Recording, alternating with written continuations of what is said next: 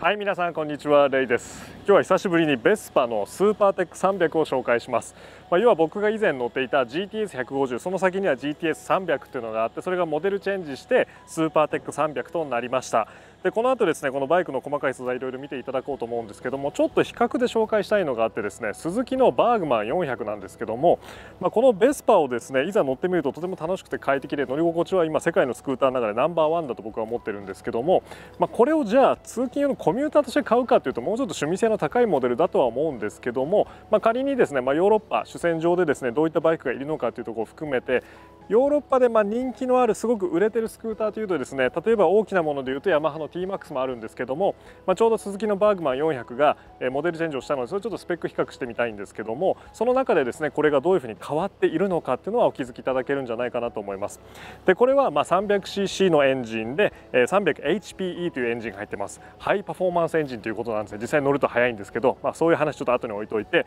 例えばスズキのバーグマン400と車重を比べるとこんな風になってるんですね、まあ、ここを比べるのであればとっても軽いですよね。ただまあ馬力トルクはいこういう風に見てみるとですねそんなに特別にじゃあハイパフォーマンスエンジンという名前通りの出力かというとやっぱり 300cc なりの出力にはなっています。ただですね寸法が全然違うんですね。こんな風に違います。ベスパのスクーターというのはとてもコンパクトで小さくできていて昔々はビッグスクーターなんていうものの文化がありましたけども、まあ、このベスパ自体どちらかというと大人の人が乗ってるイメージなんですよねそれこそビッグスクリーンがついてるとかスカートがついているとかとなるとバーグマンとか TMAX もスカートがついてる状態だと急にヨーロピアンなイメージになるななんて思っているんですけども、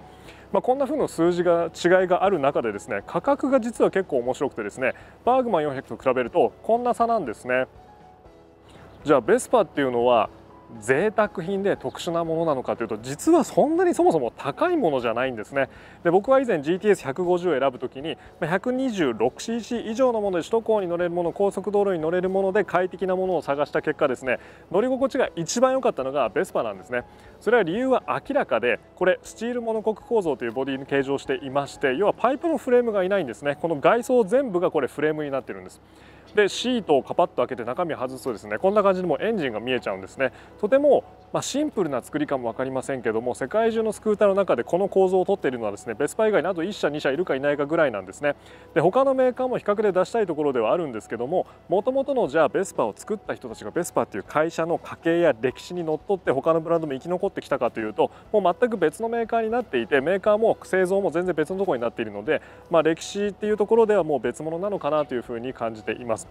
ですがベスパはもう往年のこのデザインだったりこのふくよかなお尻であったり丸め一頭だったりまあ、四角いタイプもあるはあるんですけどもこれがザ・ベスパな形じゃないですかね。でこうして比較をしてみるとですね実際に乗ってみるとうーんピアッジオジャパンのですね社長のネリさんはですねベスパのことを、まあ、スクーター界のフェラーリとかそういう表現してたんですけども僕はいざこれ乗るとですねスクーター界のメルセデスかなというふうに思うんですね。というのも圧倒的な乗り心地の良さですね。でちょっとハンドリングとかエンジンの話に入っていきましょうか。でですねこのスーパーテック300いざ乗ってみるとどうなのかというと先ほど申し上げた、まあ、そのフレームの構造が独特なだけあってですねボディ全体が衝撃を吸収いなしていってくれるので段差を段差と感じないですねでそしてエンジンとのちょっと組み合わせの話になるんですけども往年の欧州車の、まあ、サルーンをご存知の方だと重ための金庫のようなボディががっしりしたものが重たくどっしり走る。それがドイツ車とか欧州車のいいところだったんですけども近代的な現代の欧州車っていうのはもう全然乗り味当時のものとは変わっていてですねボディは相変わらずうん硬いというか合成感はあるんですけども以前の方が薄くて硬い金属を使ってたイメージですかね。今の方が分厚くて柔らかい金属になっているようなイメージがあって包まれ感はやっぱり今の方がかえって包まれ感はあるんですけども硬さっていうのはそんな感じないんですね、えー、どこかに柔らかさも感じると言いますか、まあ、それに似たようなボディとあとこのエンジンがですねじゃあトルクやパワー鼓動感そういったものがもりもりに出てくるかというと実は振動がものすごい少ないノイズの少ないエンジンに仕上がっていてそんなふくよかな肉厚なボディに対してまあ、軽やかに回るエンジンが組み合わされていてそしてサスペンション自体はですね動きが遅くてですねそんなに激しくピッチングもしないずっとちょっと宙に浮いた状態でスーッと動くような乗り味があってこれが現代のまあメルセデス・ベンツしかり BMW しかりアウディしかり、まあ、それぞれ厳密に違うんですけども、まあ、現代の欧州車のサルーンのような乗り心地があるんですね。なので短距離を楽に移動したいあるいは長距離を疲れずに移動しないとなるとですねベスパ一択かなって思いますね。それこそ今日本の PCX モデルチェンジでものすごい良くなってハンドリングもものすごい良くなってニュートラルと本当に良くなったんですけどもこの世界観とこの乗り心地の良さっていうのは何をやっても手に入らないですね。それはきっとこのスチールモノコック構造というボディがまあ一つ役に立っているということとでそしてこのエンジンがまあこれヨーロッパのエンジンではありますけどもまあとてもとても現代的なものになっています。でただその中でもですね、え、まあベスパらしいといいますか、え、ベスパってもともと蜂っていう意味なんですが蜂のブーンって飛ぶような音をイメージしたところからベスパーって名前付けられたそうなんですけども、まあ、そういった細かく小さく歩調の、えー、間隔の狭い粒立ちの揃ってるそういった鼓動感がしっかり残されていてただただアクのノイズがなくなりパルスが残ったというとても現代的なものになってますね。でこれをですねいざ乗り出してみたらですね僕が乗っていた GTS150 と比べると、まあ、エンジン大きくなって馬力も上がってるけどもボディ自体も重たいものだしやっぱり重たい乗り味なのかなと思ったら違いましたねただただ軽量感のあるひらひらと走るものになってました。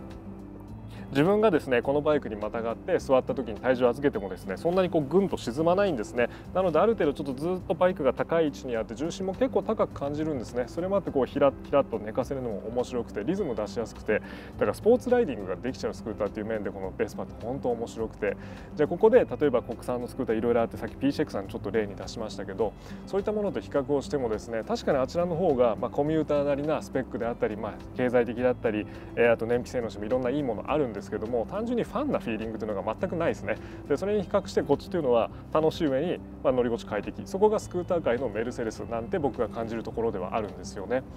で150なのか300なのかっていうのはこれ悩む難しいところはあるんですけども、まあ、僕は以前150でいいやと思って150乗ってちょっと重たさとか軽さっていうのはあったんですけどいざ走らせてみるとこのボディがあるので結局コーナー攻められちゃうんですね。そんなこともあって不満は何も感じなかったんですけども、まあ、久々にこの300特にこの新しい 300HPE エンジンに乗るとですねやっぱりトルクというのは少しあったらあった分だけ贅沢っていうところですね。例えばこれが BMW のま320なのか335なのかって全然違いますよね。みたいなちょっとプラスアルファ贅沢をしたいかどうかぐらいで選び分けてもいいのかなと。決定的に全く別の乗り物に化けているかというとこの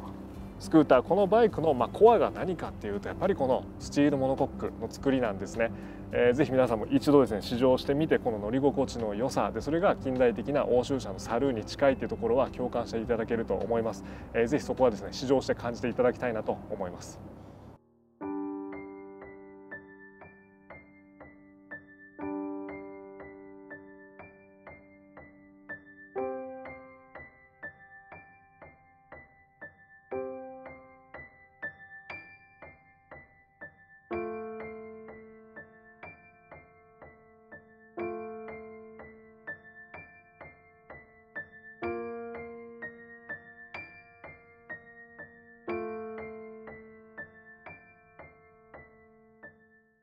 そんなわけでベスパのスーパーテック300について紹介してきました。まあ、バイクのですねシルエットだったりデザインであったり雰囲気であったりオーラだったりというところは、えー、もう見たまんまですね。どっから写真や映像を撮ってもどっからどう見ても可愛いんですね。とても綺麗なもので。ただボディカラーで全く印象変わるとは思うんですけども、まあ、このブラック都会的でいいんじゃないかななんて思いますが僕は以前乗っていた、まあ、メタリックのグリーンですね、えー、勝手に抹茶ラテメタリックとか抹茶メタリックって呼んでたんですけどもそれがですね抜群に良かったですね。まあ、こういう黒なのかグリーンなのかレッドなのかで印象は全く変わっていくと思いますので、えー、なんならこれボディカラー一気にオールベネ塗っちゃっても面白いんじゃないですかね。えー、ぜひ皆さんのお好みのベスパ育てて作ってみてもいいんじゃないでしょうか、まあ、理想的なバイクライフがどんなものなのかと言いますとですねこういうベスパが1台あって、まあ、コミューター楽に移動ができる。でかつこのボディ構造のおかげで、まあ、サルーンのような楽もできる、えー、ま、ただ足りないのはやっぱり、まスピードだったりスポーツ性だったりすると思うので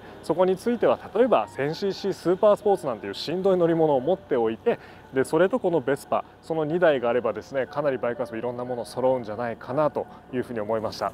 実はこのベスパっていうのは旅に向いてるスクーターだと僕は思うので、えー、ぜひ長距離ですね過酷なシチュエーションでも、えー、乗ってみてください。久々に乗ってめちゃくちゃ楽しかったです。これはもうですねもう褒めるしかなくてけなすところが本当なくて申し訳ないんですけどもただただこれ面白いです、えー、まあ、300という排気量体が国内ではあんまり優位性がなくて250ギリギリ切ってくれてたらなという方はですね以前古いモデルで GTS250 なんてものあったんですがもう時代すっかり変わっていてですねこれもカラーの液晶になっているですとかやっぱりこれメーターが近代感未来感があって面白かったですね、まあ、将来的にはベスパの電気っていうのも以前僕はミラノモーターショーのエイクまで見てきたんですけどもそういったものがこれから出てくるとなるとこのデザインさえ生き残ってくれればですねエンジンであっても電気であってもどっちでもいいかなというふうに思います、えー、そのわけでベスパ紹介しました。よかったら次の動画もご覧になってください。以上レイがお送りしました。